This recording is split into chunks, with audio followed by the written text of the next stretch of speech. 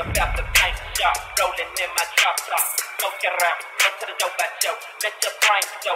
Gospodine Pavuna, e, da vas odmah pitam, e, što vi mislite o Istanbulskoj konvenciji? E, to je protuprirodno i cijela priča pokazuje da mi živimo u životinskoj farmi.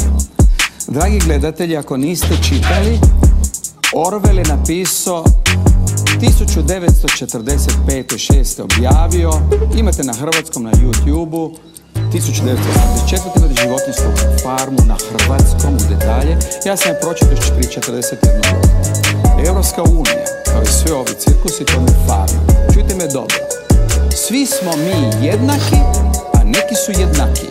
Uključi ulogu Hrvatske u Europskoj uniji.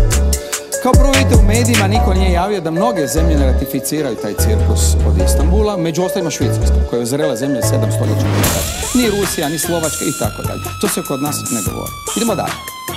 Dragi gledatelji, sve kamere mene snimajte. Sve.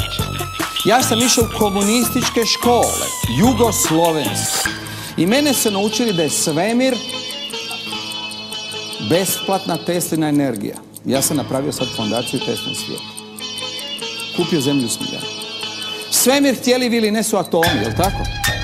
Svemir su stanice, gospodine e, dragi, vi kao ja i kao kamerman ste oko 100 tisuća milijardi stanica.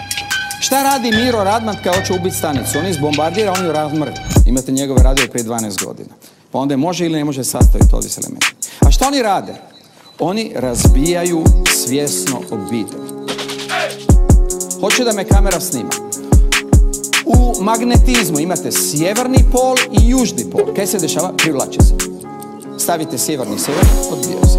Mi imamo opciju, takozvana frustracija. Dva su ovak, pa jedan onak, pa još može ali to je samo privremena, nestabilna opcija. I da dozvolite sada po velikom prasku, mi smo ovdje. U školi su me naučili, sam postao od majmunata, ja sam majmonoid po njemu. Što nisam, ali oni misle sam. Lukovica je isto došla od velikog praska evolucijom evolucijom, s prirodnom selekcijom, postaju sve organizmi koji će priživljati. Na taj način smo mi stigli, dame i gospodo, do ovoga. I stigli smo do umjetne inteligencije i da vidite umjetnu inteligenciju koja vam dolazi kroz Europsku uniju.